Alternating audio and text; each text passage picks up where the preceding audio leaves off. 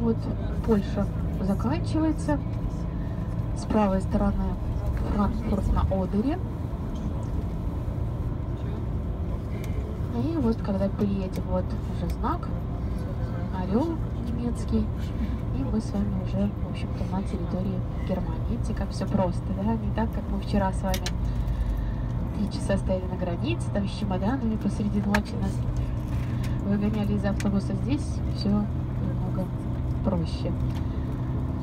Так что да, я вас поздравляю, Бундес Републик Дойчланд вас приветствует. Орел уже был, орел уже проехал. Он был маленький орел. С задним ходом, да, сейчас водитель